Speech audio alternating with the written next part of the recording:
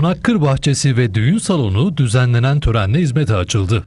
Elazığ 3 kilometre yakınlıkta olan işletme 2000 kişilik kapasiteli alanıyla hizmet verecek. Eğer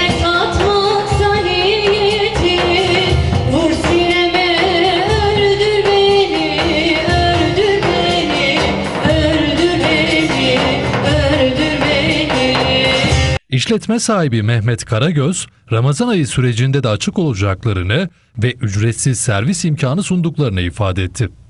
Yerimiz Elazığ'a 3 kilometre yakınlıkta bir mesafede. Ulaşım sorunumuz yok.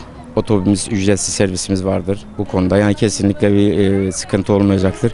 Ve salonumuzun kapasitesine gelince 2000 kişilik. Ramazan ayında toplu yemeklerimiz olacak. E, efendime söyleyeyim. İddia ediyoruz Elazığ'ın en iyi hizmetini biz vereceğiz. İnşallah, inşallah. yani Burası aynı zamanda da Ramazan'da da açık olacak toplu yemeklerde. Ke- kesinlikle zaten e, toplu yemekleri de sürekli açız. Toplu yemekleri de açız yani normalde. İnsanlar açık havada düğün yapmanın keyfine Dedim, varacak. dedim ya gerçekten iddia ediyorum Elazığ'ın en ideal yeri burası olacak. Grand Konak olacak. İnşallah. Yani Elazığ'a güzel bir hizmet vereceğiz. Evet, E, bu için bunun için yola çıktık. İnşallah Allah bizi utandırmaz. inşallah.